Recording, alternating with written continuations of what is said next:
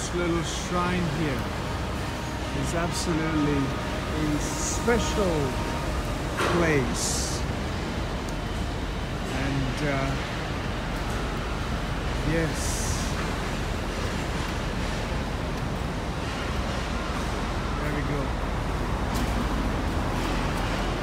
It's called the Masakado Zuka, Masakado's tomb. Masakado shrine is depicted the head of Taira no Masakado, descendant of Emperor Kanmu, a well-known hero of the eastern region of Japan.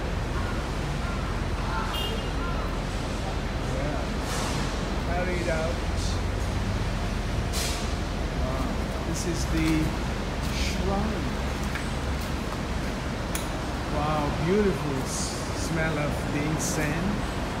That's where the Masakada shrine.